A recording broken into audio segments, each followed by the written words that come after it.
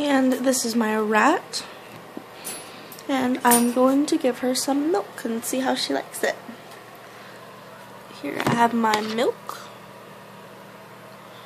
And milk. Have some milk.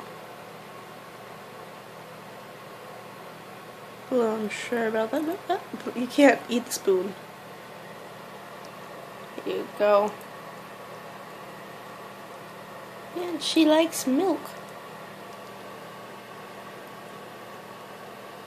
You oh, know, you bit my spoon. Eh, and she took my spoon. There's still a little on there if you want. But no, no, the spoon probably didn't feel good to have some metal, did it?